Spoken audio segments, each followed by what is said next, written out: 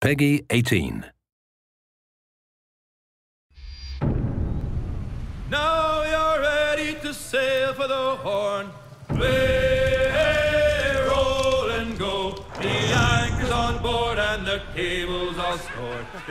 She fancies you, lad. Dandy, dandy, ho. Come breast the bars, bullies, heave.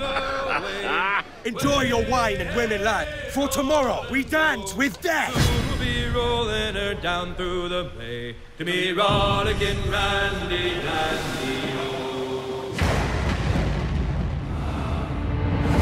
These savage seas are filled with fortune and unknown dangers, which most men wouldn't dare face. But we are not most men. Incoming fire!